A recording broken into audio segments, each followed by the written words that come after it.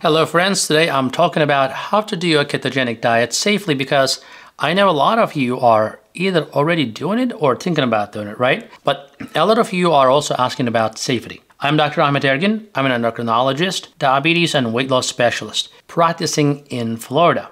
I looked up a few ways to keep you safe while you're attempting to do the keto diet, which could be for weight loss purposes or diabetes control purposes, right?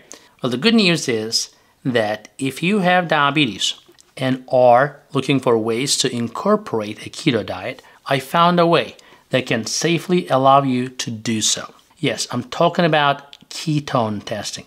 Ketone testing is an essential part of managing diabetes anyway, but it becomes more important if you are trying to go on a ketogenic diet. This is because diabetes makes it difficult for your body to regulate its levels of ketones. If you did not already know, ketosis means the presence of ketones that are formed when your body burns fat instead of glucose. It's not harmful, but very high ketone levels can be dangerous. Now, when it comes to measuring ketones, make sure you use KetoSens. If you're trying to get the most accurate ketone measurement, this product is perfect for you. I will talk more in depth about this ketone meter in a second and what it is and how it can help you achieve your goals. But let's talk more about some basics that you may want to remember if you are not already a keto pro. As you might know, your body goes into ketosis when you eat a low carb, high fat diet. This is when your body actually burns fat as your main source of fuel instead of carbohydrates. For many people, being in ketosis can help improve blood sugar levels, reduce hunger, and help retain the muscle mass. All of these things may help people lose weight automatically.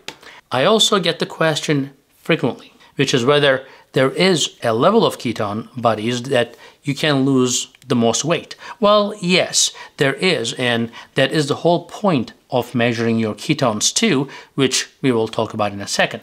Remember, it takes a few days for your body to adjust to the low level of carbohydrates diet after you begin. If your liver and muscles and carbohydrates they're full of glycogen unless you work out all day and a couple hours a day and you burn them off and in the absence of glucose intake though your body would shut down unless ketones kick in right which your body uses as a fuel or a source of energy. At this point, your insulin resistance will start going down, and you may find yourself already losing weight, and your blood sugar may dramatically improve. A word of caution here though, you need to be under medical supervision if you are already taking insulin or sulfonylurea drugs for your diabetes. Otherwise, you will be at risk of severely low blood sugar on insulin and some oral diabetic medications such as sulfonylurea drugs like glipizide, glimepiride, etc. Regardless, provided that you are not on insulin or uh, be medically supervised, you may be able to detect ketones in your blood at that point after a few days of a very low carbohydrate in your diet. While on the ketogenic diet, your blood ketone levels will probably range from 0.5 to 3 millimoles, and ketosis occur when your body starts using fat as its main fuel source due to limited access to the glucose or the blood sugar, typically caused by fasting or following a very low carbohydrate diet like we discussed. And the optimal levels to be in in ketosis is 1.5 to 3 nanomole per liter. So when your levels grow towards 5 millimole per liter, you are at risk of falling into DKA, diabetic ketoacidosis. That makes your blood too acidic, which can change the normal functioning of internal organs like your liver and kidneys. This is why having an understanding of your ketone level is so critical on a ketogenic diet. Let's talk about how you can use this uh, little mighty device called KetoSens. KetoSens actually is a blood ketone monitoring system that takes a very tiny drop of blood and calculates the exact amount of ketones you currently have in your blood. Your ketone levels may change throughout the day, so this device will allow you to monitor the exact levels as frequently as you like. Now, how do you use the device? KetoSens is quick and easy to use. First, insert the strip into the device. You will hear a beep as the device recognizes the strip. You hear that? Remember to insert the flat side of the strip, not the pointy part. See, the pointy part is pointing you. Take your lancing device and prick your finger. Okay. Put this down a little bit here. You don't need a lot of blood, just, just a little bit, just like here.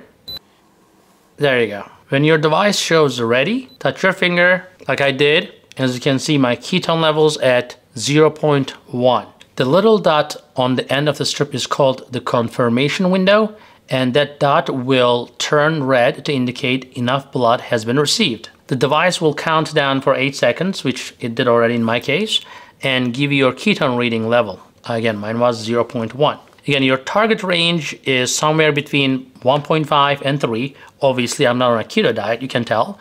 But the good thing is that the KetoSens is FDA approved and available for easy purchase and delivery through Amazon. And check out the link below for the description to get your device with one click. Now, you may be asking, what about testing for ketosis via breath and urine?